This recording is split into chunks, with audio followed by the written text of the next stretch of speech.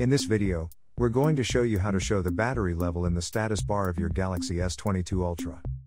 There are a couple of ways you can do this, and while both have the same result, it's better that you know how they're done. So the first one is done through the notifications menu. Here's how. Pull up the app drawer, and then tap settings.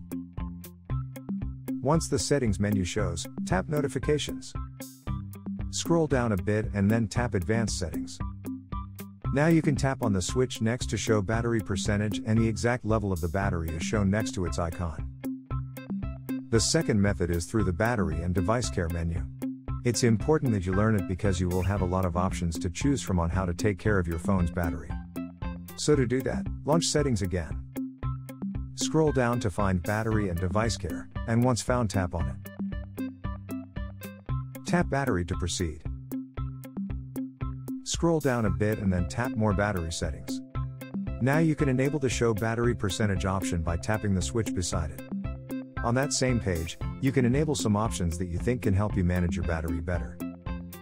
We hope that this tutorial can be helpful. For more tips like this, subscribe to our channel or click on another video to keep watching. Thanks for watching.